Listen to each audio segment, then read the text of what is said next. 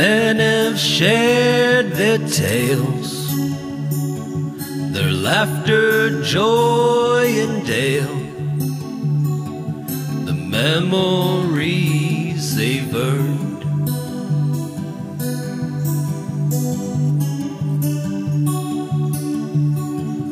The women share their dreams, their coffee poured with cream, what they've yet to learn.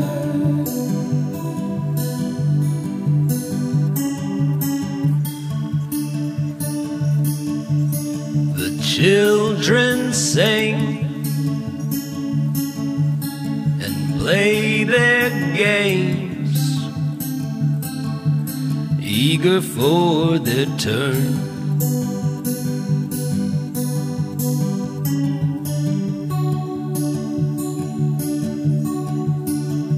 It's a moment. It's a bounty. It's enough.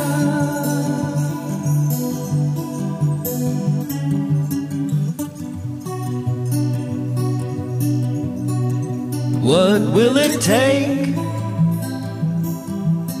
to make these days